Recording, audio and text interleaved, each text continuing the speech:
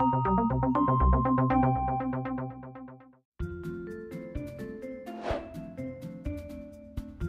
sure by now you've come across these strange pixelated squares in advertisements like this or like this. It's kind of like a pixelated uh, crossword puzzle maze thing, but it's not. It's a two-dimensional barcode. The most popular one, they're called QR codes, and they're designed to tell your smartphone to do something, whether that's open up a website, a map, or add a contact.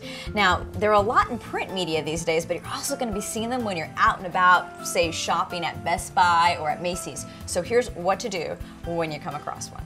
Step one, download one of the many free scanning apps. The easiest thing to do is just go to your smartphone's app store and search QR to find one. Step two, activate the app and assume the scanning position. Aim your camera at the code and it'll instantly tell your phone to pull up whatever the code is for, like a video with more information. And they're all different.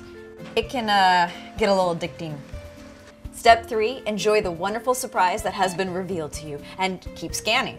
Even if you don't have time to view whatever it is, you can always go scan happy now and pull up a history of your previous scan to view it later. Now there's another kind of scanning code you'll come across that isn't a QR code. It's from Microsoft. It's called a Microsoft tag. Say you go to Lowe's in the garden section where I got this little guy all the plants there have a Microsoft tag you scan with the Microsoft special app. It's free. And it tells you how to take care of the plant. So I'm going to follow that because I don't want to kill him. Companies are really just starting to test this all out now. It's meant to be a convenient way to pull up something on your smartphone. In fact, some people who are watching this video right now are doing so because they scanned the code right next to the print version of my story in the newspaper. Pretty cool, huh? For the Miami Herald, I'm Bridget Carey.